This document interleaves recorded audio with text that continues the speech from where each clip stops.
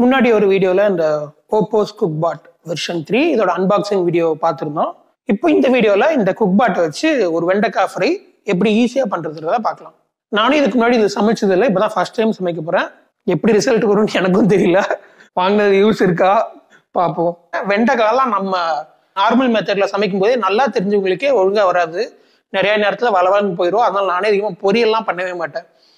One part method மாதிரி நம்ம normal குக்கரில் குழம்பு பிரியாணி இந்த மாதிரி விஷயம்லாம் தான் அதிகமாக செய்வேன். ஸோ இது எப்படி செய்ய போகுதுன்னு தெரியல. இந்த வெண்டைக்காய் மட்டும் நல்லா வந்துடுச்சுன்னா மீதி எல்லாமே நல்லா தான் வரும்னு நினைக்கிறேன். பார்க்கலாம் எப்படி வருதுன்னு. ஓகே இப்போ வீடியோக்குள்ளே போயிடலாம். வெண்டைக்காய் நான் ஆல்ரெடி மசாலாலாம் போட்டு வச்சுட்டேன். இதில் ஒன்றும் பெரிய மசாலா இல்லை. கொஞ்சம் மிளகா பொடி உப்பு கொஞ்சம் கரம் மசாலா அவ்வளோதான் இதோட ரெசிபி வீடியோ வேணால் நான் கீழே போடுறேன். இது இந்த ஓப்போஸோட ஃபவுண்டர் இந்த ராமகிருஷ்ணன் அவங்களே பண்ண வீடியோ இருக்கு. இப்போ நம்ம சமைக்க ஆரம்பிச்சிடலாம். ஃபர்ஸ்ட் இதில் மூணு டேபிள் ஸ்பூன் எண்ணெய் ஊற்றணும் நான் மூணு டேபிள் ஸ்பூன் செக்கு தேங்காய் எண்ணெய் ஊற்றிருக்கேன் அடுத்து வெண்டைக்கால்லாம் இதில் போட்டுடலாம். ஓப்போஸில் லேயரிங் முக்கியம். ஸோ கரெக்டாக எல்லாமே ஈவனாக ஸ்ப்ரெட் பண்ணிடணும். ஸ்ப்ரெட் பண்ணியாச்சு.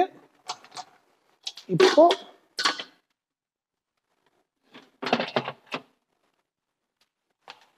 அவ்வளோதான் மூடி சைடில் இங்கே இருக்குது அந்த லோகோ ஸ்ட்ரெயிட்டாக வந்துடுச்சுன்னா செட் ஆயிடுச்சுன்னு அர்த்தம். அதுக்கப்புறம் இது நம்மளை பார்த்த மாதிரி இருக்கணும். ஸ்ட்ரெயிட்டாக இருக்கணும். ஓகே இப்போ ஸ்ட்ரைட்டாக இருக்கு. ஆன் பண்ணிட வேண்டியதான் ஆன் பண்ணிவிட்டு இது டெலிகேட் வெஜ்ஜுன்னு ஒரு ஆப்ஷன் இருக்குது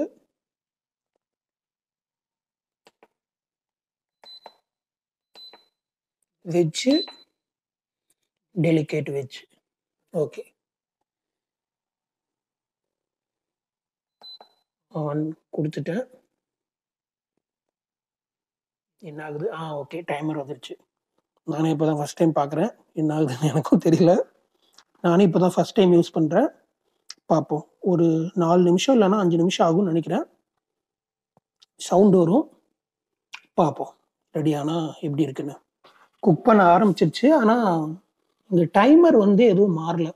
அப்படியே தான் இருக்குது டெலிகேட் வெஜ்ஜு ஜீரோன்னு வருது பாருங்க. நான் ஒரு சரி குக் ஆகலையோ அப்படின்னு பார்த்தேன். இல்லை ஏதோ மறுபடியும் ஆன் பண்ண போடணும் இதை மட்டும் தான் ஒரு தடவை அழுத்தினேன். ஆனால் சவுண்டு வருது. உள்ள குக்கார சவுண்டு கேட்குது இங்கே மேலே வந்து லைட்டாக அப்படியே அந்த புகை மாதிரி வருது. நல்லா அந்த வெண்டைக்காயோட ஸ்மெல் வருது. ஒரு மாதிரி ஃப்ரை மாதிரி ஆகும்னு நினைக்கிறேன். உங்களுக்கு தெரியுதா? புகை மாதிரி ஸ்டீம் வந்துட்டு இருக்கு மேலே.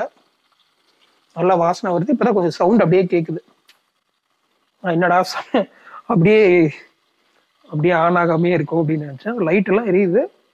இருந்தாலும் டைமர் மாதிரி காட்டல. ஜீரோன்னு தான் காமிச்சது. இப்பயும் ஜீரோவில் தான் இருக்கு. பார்ப்போம். டைமர் ஆன் பண்ணியிருக்கேன் ஒரு நாலு நிமிஷத்தில் முடிஞ்சிடும்னு நினைக்கிறேன். ஃபோனில் டைமர் ஆன் பண்ணி வச்சிருக்கேன். எப்படி வருதுன்னு பார்க்கலாம்.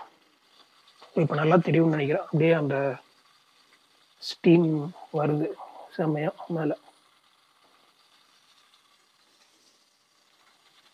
வாசனையும் சூப்பராக வருது இப்போ குக்காக ஆரம்பிச்சிருச்சு ஸோ இப்போ நம்ம பார்க்க வேண்டியது என்னென்னா நான் வெறும் எண்ணெய் மட்டும்தான் ஊற்றுனேன் அவ்வளோதான் போட்டுட்டு மூடி வச்சாச்சு நம்ம ரெகுலராக செய்கிறதுக்கும் இதுக்கு என்ன டிஃப்ரென்ஸ்னால் நம்ம ரெகுலராக வச்சு அதை பக்கத்துலேயே நின்று கிளறி விட்டுட்டு இருக்கணும் அந்த டெம்பரேச்சர்லாம் நமக்கு கரெக்டாக தெரியாது பொரியல் பண்ணும்போது நம்மளால் வேற எங்கேயும் நகர முடியாது ஆனால் இதில் அப்படி இல்லை. நம்ம பாட்டுக்கு எல்லாத்தையும் கரெக்டாக போட்டு லேயரிங் பண்ணி வச்சிட்டோம்னா அது பாட்டுக்கு குக் பண்ணிடும் ஆனால் இதே மெத்தடில் மற்ற குக்கரால் பண்ண முடியாது. ஸோ இப்போ என்கிட்ட இன்ஸ்டன்ட் பாட் கூட இருக்கு. ஆனால் அதில் இதெல்லாம் பண்ண முடியாது. ஏன்னா அதெல்லாம் என்னன்னா தண்ணி ஊற்றி குக் பண்ணுறதுக்காக ரெடி பண்ண விஷயம். பொதுவாகவே எல்லா எலக்ட்ரிக் குக்கரும் அப்படிதான் இருக்கும். ஆனால் இது அப்படி கிடையாது. இது அதிகமான சூடில் குறைவான நேரத்தில் சமைக்கிறதுக்காக உருவாக்கப்பட்டது. குறைஞ்ச அளவு தண்ணி. ஸோ அதான் இது ரொம்ப முக்கியமான விஷயம். இருக்கிற இந்த காய்கறி கறி இதில் இருக்கக்கூடிய ஈரப்பதத்திலேயே அது சமைக்கும். ஸோ அதான் விஷயம்.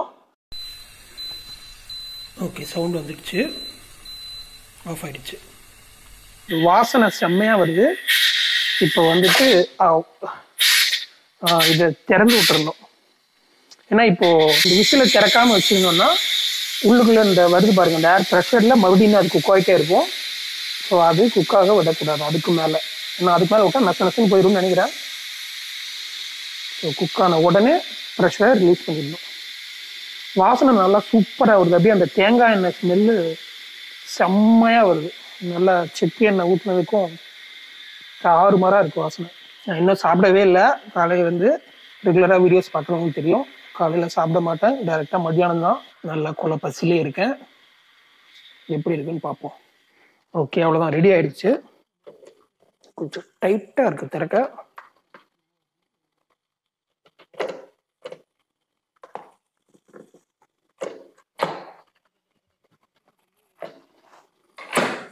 ஓகே ஈஸியாக தான் திறக்க முடியுது. ஆனால் ஃபஸ்ட் டைம்ன்றதால கொஞ்சம் பயமாக தான் இருக்குது நம்ம ரெகுலராக ப்ரெஷர் குக்கர்லேயே பழகினதால அப்படியே மேலே அடிச்சிருவோம் அப்படின்னு. வா எப்பா. தக்க தக்க தக்க தக்க தக்க தக்கன்னு அப்படியே கொதிக்குது உள்ள. இந்த சீசலர்ஸ்லாம் ஆர்டர் பண்ணோம்னா வருமே அந்த மாதிரி அப்படியே சிஸ்லிங்காக செம்மையாக இருக்குது வாசனையும் தாறுமாறாக இருக்குது பாரு அப்படியே க்ரீனு நல்லா பச்சை பசேல்னு இருக்கு. பார்த்தா அதான் சமைக்காத மாதிரியே தான் இருக்கும். ஆனால் உள்ள குக் ஆயிருக்கும் அப்படின்னு வீடியோஸில் பார்த்துருக்கேன். ஓகே அதே மாதிரி தான் இருக்குன்னு நினைக்கிறேன். ம். வாசனை செம்மையாக இருக்கு. உள்ளுக்குள்ள நல்ல ஒரு மாதிரி ரோஸ்டாக இருக்கு. என்ன இருக்கே இவ்வளோ அப்படின்னு சொல்லி மேபி ஒரு சிலர் பயப்படலாம். ஆனால் பாருங்கள் எண்ணெய் வந்துட்டு அந்த கரிஞ்சு போகிறது அந்த மாதிரிலாம் ஆகலை. அதுவும் இல்லாமல் இது செக்கு தேங்காய் எண்ணெய் தான். ஸோ ஹை ஹீட்டெல்லாம் தாராளமாகவே தாங்கும். அது மட்டும் இல்லாமல் சேச்சுரேட்டட் ஃபேட் உடம்புக்கு ரொம்ப ரொம்ப அத்தியாவசியமான ஒரு பொருள் தான் அது. இதில் வந்து பாட்டில்டு தடுக்கான்லாம் சொல்லுவாங்க. நம்ம தாளிப்பு வந்துட்டு அவங்க ஆல்ரெடி ரெடி பண்ணி வச்சுக்குவாங்க. இது இந்த மாதிரி ரெடி ஆனதுக்கப்புறமா அந்த தாளிப்பை சேர்த்து மிக்ஸ் பண்ணி சாப்பிடுவாங்க. எனக்கு நான் இப்போ தான் வாங்கியிருக்கேன்.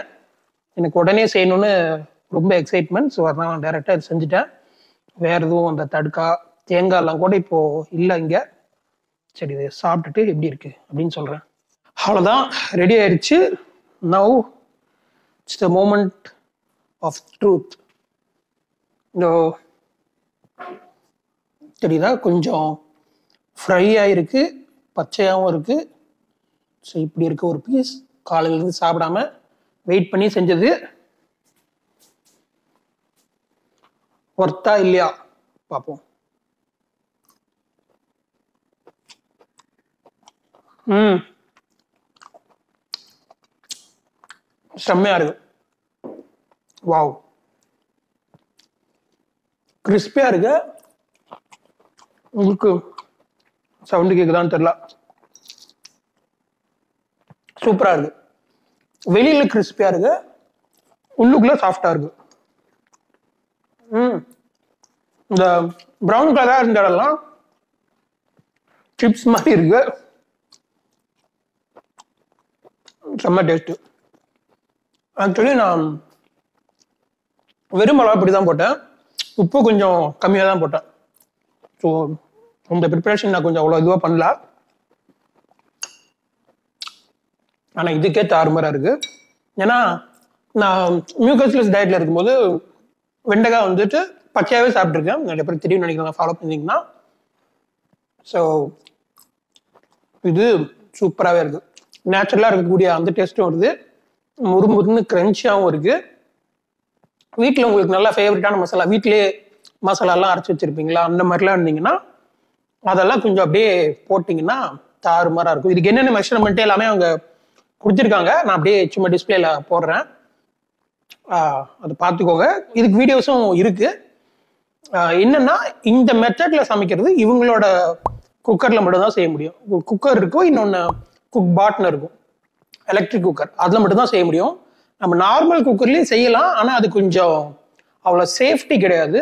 ஏன்னா அந்த நம்மளோட நார்மல் குக்கர்லாம் இந்த மாதிரியான குக்கிங்காக வடிவமைக்கப்பட்டது கிடையாது. ஓ சூப்பர் இருங்க நான் என்னோட நார்மல் வெண்டைக்காவும் கடிச்சு எப்படி இருக்குன்னு சொல்கிறேன் ஓகே இது பச்சை வெண்டைக்காய். ம். பச்சை வெண்டைக்கால யா பச்சை வெண்டைக்காய் நிறைய பேர் பச்சை வெண்டைக்காய் சாப்பிட்டுக்க மாட்டீங்க. இல்லை கிரன்ச்சி சூப்பராக இருக்கு. ஆக்சுவலி அதே கிரன்ச்சு தான் அதுவும் இருக்கு. இதுலேயும் இந்த கிரன்ச் வருது.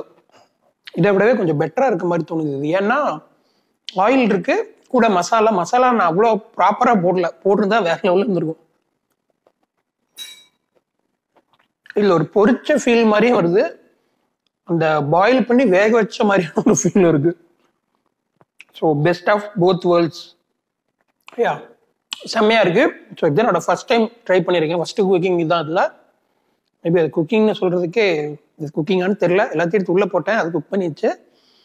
அடுத்து இன்னும் கொஞ்ச நாள் இதை யூஸ் பண்ணிட்டு இது எப்படி இருக்கு என்னன்றத இன்னும் கொஞ்சம் டீட்டெயில்டாகவே வீடியோ போடுறேன்.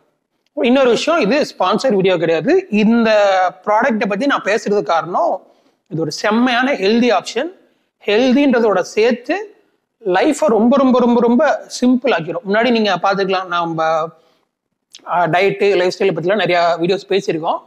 அதில் பொதுவாக எல்லாருக்கும் இருக்கக்கூடிய பிரச்சனை என்னன்னா அந்த கன்வீனியன்ஸ் இருக்காது. வீட்டில் நிறைய ஸ்ட்ரகிள் இருக்கும் இல்லை வெளியே தங்கிட்டு இருக்கவங்க அந்த மாதிரி இருக்கவங்களால சமைக்க முடியாது. ஸோ அந்த பிரச்சனையெல்லாம் இருக்கும். ஸோ அது எல்லாத்துக்கும் இது ஒரு செம்ம சொல்யூஷன் அதுவும் இல்லாமல் ஒரு செ உடனே ஒரு செம்மையான எவ்வளோ சூப்பரான டயட் இருந்தாலே உடனே உங்களாலலாம் ஒரு டிரான்சிஷன் பண்ண முடியாது. ஸோ அதுக்கு இது செம்மையான ஒரு பிரிட்ஜாக இருக்கும்.